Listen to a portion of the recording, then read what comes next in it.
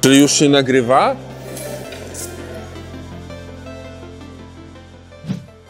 Gdybym spotkał młodszą wersję siebie, to powiedziałbym temu młodemu Mateuszowi, aby był odważny.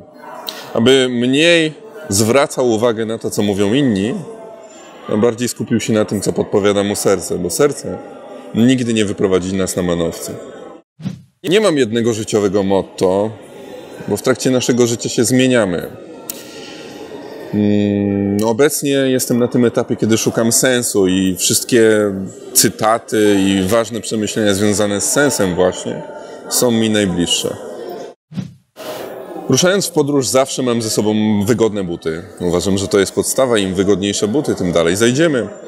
Ponadto wielofunkcyjny scyzoryk, dzięki któremu mogę naprawić wszystko, co się zepsuje oraz odtwarzacz muzyki i książek.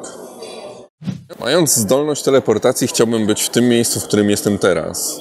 Myślę, że wielu ludzi ma problem z tym, aby cieszyć się tym, w którym miejscu w tej chwili są i tym, co właśnie robią. I ja cały czas się tego uczę. Z tego powodu nie chciałbym się przenosić w inne miejsce, tylko pracować nad sobą tutaj. Nie mam podróżniczych marzeń, mam podróżnicze plany, e, które wystarczą mi do końca mojego życia. Chciałbym przejść pieszo wszystkie kontynenty.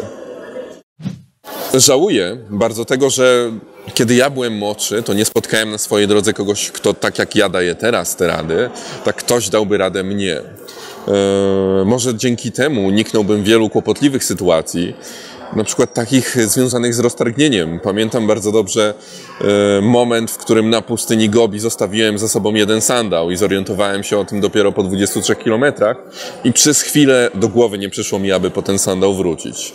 To są takie małe błędy i porażki, na które powinniśmy zwracać uwagę. Niestety tego błędu nie udało mi się uniknąć.